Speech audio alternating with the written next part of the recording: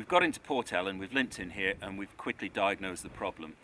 We must have hit something out there, we didn't see it, but one of the fins on the prop has completely snapped off.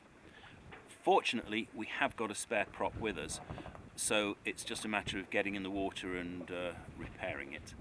So uh, hopefully we can get that done.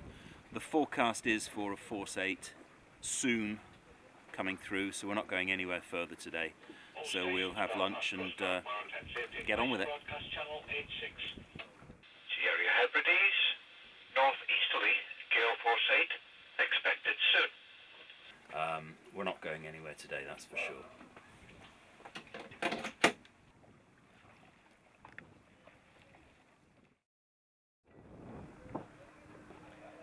Nothing is ever simple with boats, is it? Or cheap.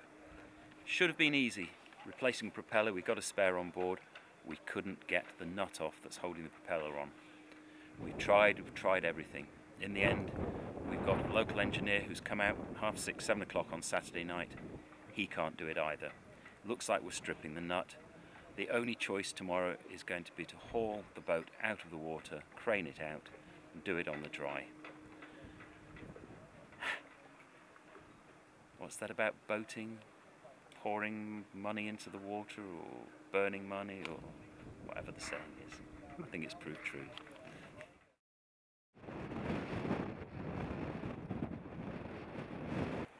That is just scary. That that's not storm waves, that's just a tide race out there. Calm sea there. And then you've got that race out there. That's the sort of conditions you get up here from time to time. You see it on the charts and you think nothing of it, but when you see it in, in reality, it's pretty scary. There's nothing I've looked forward to less on the whole trip than what's going to happen in the next few hours. The problem is it is blowing a force 8. We've driven around the island and seen what the conditions are like and we've got to go out from this safe haven here around a hideous amount of rocks and small islands to get to where his boatyard is. It's scary to say the least. It's conditions I would never dream of going out in, let alone with only one engine and without any steering because the power steering comes off the starboard engine. So as soon as the engineer gets down here, the boat builder, one of the local guys is going to come with us because we don't know the rocks and, and in these conditions it's going to be great having a local with us to show us the way. And as soon as he gets here, we're heading out there. When Gus arrived with Bertie, they decided to give it one last attempt before heading out into the gale. The locking nut still wouldn't shift. Bertie suggested we try and do it alongside the slip, where he could get real leverage.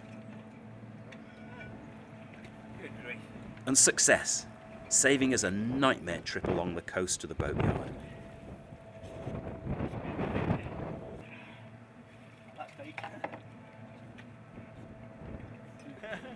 Not a bad bunch. no, just take, no, take no, the missus no, out no, don't, week. no, don't, no, seriously, seriously, no, no, no, don't, don't, don't, don't, don't, don't. No oh, way, it's a Sunday as well. No, it's not bothering. Thank you. The wind, I wasn't hearing it. Cheers, lads. Thank you. Unbelievable. Just came out on a Sunday, sorted it for us, wouldn't take a penny, refused to take anything for it, and just said maybe when they're in Cornwall they might need a hand. I mean that's that's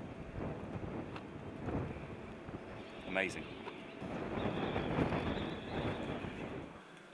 Well, that was the cause of the problem. Completely sheared off, and of course vibration up through the leg. So we're still in Port Ellen. Northern Ireland is in sight across the horizon, or will be when this uh, blows through.